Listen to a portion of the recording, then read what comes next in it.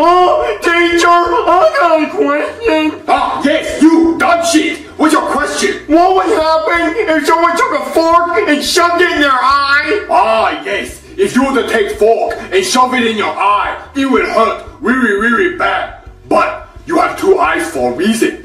Um, teacher, I have a question. When's lunch? Whoa there, fatty. There's no lunch today. It's only half day. oh, then eat what's on your desk, fat shit.